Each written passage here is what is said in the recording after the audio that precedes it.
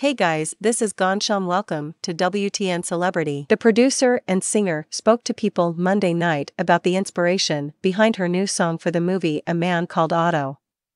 Rita Wilson believes in keeping the conversation going long after someone is gone. In fact, the 66 year old producer and singer's new song Till You're Home, for the movie A Man Called Otto, was inspired by the notion. Well, it sort of was inspired because when my dad died, Mike Nichols, who was our friend, said, The conversation continues, she told people at the movie's Los Angeles premiere on Monday. And that idea that even though somebody's not in your life anymore, that I still have conversations with my parents, my friends that have pa. Hey guys, this is Gansham. Welcome to WTN Celebrity. If you want to more update regarding celebrity news, then subscribe our channel and press the bell icon.